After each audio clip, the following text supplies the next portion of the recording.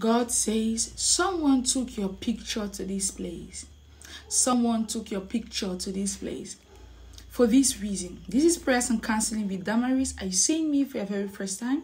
You're welcome. I love you. Thank you for clicking this video. Thank you for taking a pause to watch this video. The Lord bless you mightily in the name of Jesus. Amen. Hallelujah. Father, we thank you for your word that has come to us.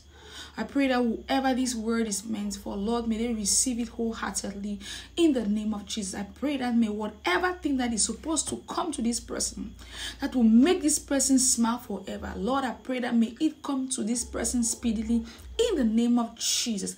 Amen. Hallelujah. God says someone took your picture for a recommendation. I don't know if this is a marriage recommendation or a work recommendation or a job or project recommendation, but someone took your picture to someone for a recommendation. And now I came here today, oh God sent me here to pray for you. That may that person, the moment they see your face, let them accept that proposal. Let them accept you for who you are. Let that blessing come to you because this is a good thing. And this blessing will make you smile forever. This blessing is going to be a breakthrough, the beginning of a very big breakthrough in your life. It's going to be the beginning of a massive breakthrough in your life. I pray for you as you hear me speak. God shall do for you what you cannot do for yourself in the name of Jesus.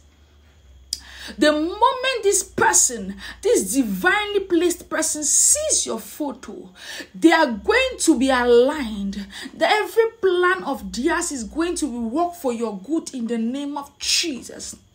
Amen. Hallelujah. Now the Lord bless you, keep you, cause his face to shine upon you, be gracious to you, give you peace. The shalom of the Lord, nothing missing, nothing broken. I love you, but Jesus loves you and I even more. And that is what matters. Amen.